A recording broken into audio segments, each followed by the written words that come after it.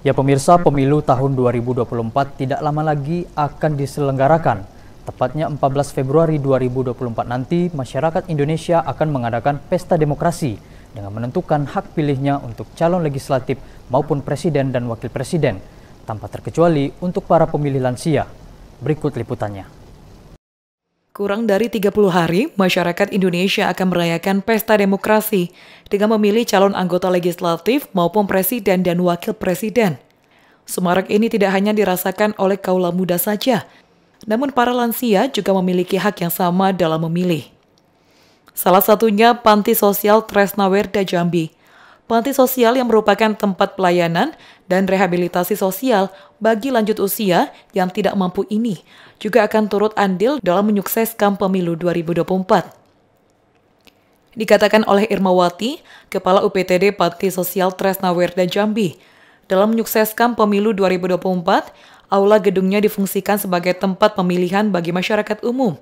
Nantinya para lansia binaan pun akan terlibat dalam pemilihan dengan memberikan hak suaranya.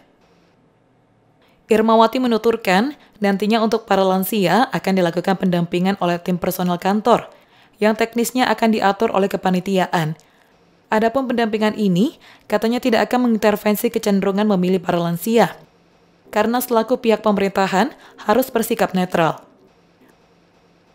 Menurutnya, semua lansia yang berjumlah 63 orang ini memiliki kesempatan untuk memberikan hak suara. Namun bagi lansia yang kondisinya tidak memungkinkan, seperti bed rest atau terbaring sakit, tentu tidak bisa ikut serta karena harus fokus dirawat. Ini terkait dengan pemilihan 2024 nih Bu. Berapa lansia yang uh, sanggup memilih dan bagaimana mereka yang nanti uh, tidak mampu berdiri gitu kan? Dan pendampingannya bagaimana nanti waktu memilih? Oh iya.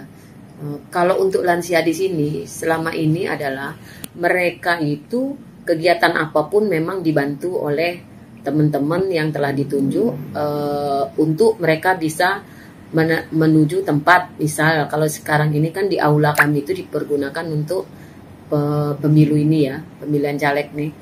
Tetapi itu nanti memang tidak semua yang bisa ke aula. Dikarenakan ada yang betres betres itu yang sudah terbaring lah.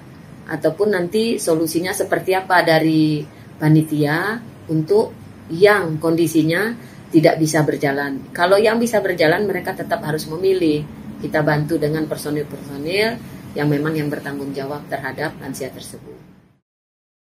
Halim Adrian, JEK TV melaporkan.